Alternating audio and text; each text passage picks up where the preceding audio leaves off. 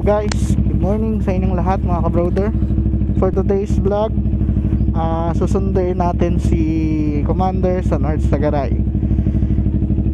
Ah Sabi ni Waze Wala na, kinain na ng sistema si Waze. Ay nako Waze.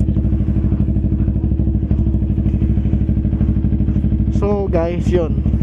Napakahirap dito mag-start ng motor Galing sa bahay namin Kailangan ko pang lumayo. Dahil grabe yung mga kapitbahay. Wala pa kasi tayo pambili ng inline 4 eh. Kaya dito muna tayo sa ano Bulahaw 4